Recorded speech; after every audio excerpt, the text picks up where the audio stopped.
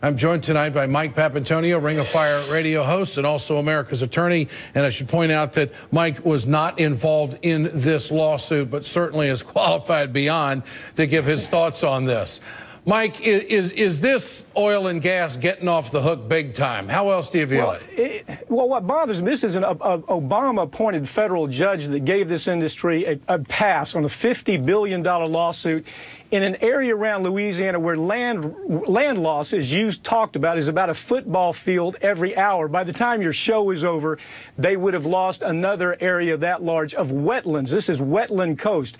It's an area where the industry pumps more toxic chemicals and carcinogens into the air and water than most places in the world, including China, Ed. You can almost compare this, what's going on there, with what's going on in China.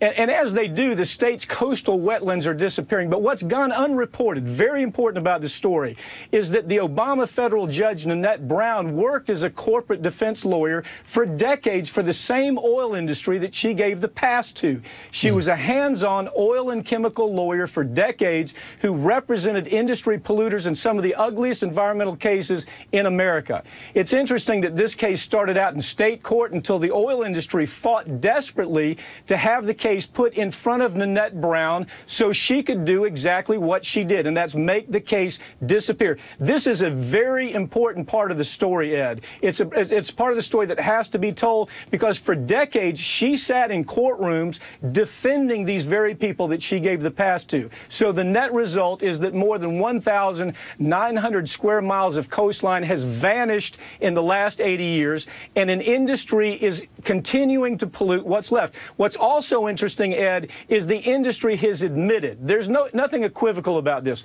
They admitted that they're responsible for approximately 40% of the wetland loss of the state. They came out and said, yes, we did that. Mm -hmm. So basically, what this judge, who again worked for the industry, Obama, the, the, by the way, she had a, a, unanimous approval in the Senate. No Democrats asked these questions. No Republicans asked this question about what this woman's background was. Yeah. She, she was good on social issues, bad on issues like this. All right. Now, doesn't the Federal Rivers and uh, Harbors Act, Clean Water Act, the Coastal Zone Management Act, govern coastal erosion. I mean, there is legislation that deals with coastal erosion.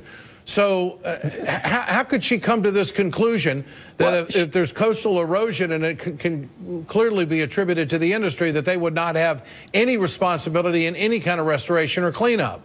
Well, she comes back, it's a cop out. You put it back to the legislative body and you say the legislative body has to take action, that she doesn't have the power to take action, that we can't actually see the real causation that's at work here, that the, the, the science can't tell us who's really responsible, that there are too many companies and we can't point the finger to any one company. If you read what she had to say, it's a cop out right down the right down the line. Again, Ed, this industry basically admitted guilt. They said we did did this. We, we're, we're responsible for 40% of the erosion, but oh, by the way, we're going to continue doing business just like we've done. And this industry captive judge dismissed the case anywhere, whereas there was nothing less than admission yeah. of guilt here. I don't know how else you could characterize it. Later on this week in our series, we're going to have a story on Cat Island. Cat Island, what it was before the spill and what it is, is today, you almost have to see it to believe it.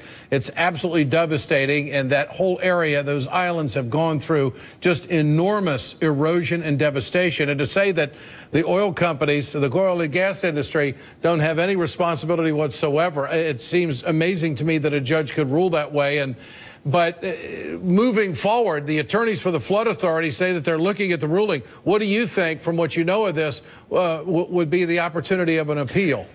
It's, it's a very difficult appeal. The Fifth Circuit has typically sided up with the oil companies. The only, rarely, uh, it, the BP case is an exception. The, the Fifth Circuit has been very, very good on the BP case because the devastation has been so incredible and so clear. On this case, this case going to the Fifth Circuit, it's a real, it's a long shot. If you want to ask my opinion about it, I think it's a tough road, uh, and I think this this judge knew that in the way that she wrote the opinion, in the way that this case is basically going to disappear, and the, the damage is going to continue continue for an awful long time because they, they're not going to change the way they're doing business. Ed, real quick, there's an, ed, uh, there's an area called uh, Cancer Alley. Yeah. It's even worse than the story we just told. Maybe we can talk about it sometime. Okay, our series will continue again tomorrow night and throughout the week. Mike Papantonio, I appreciate your time tonight.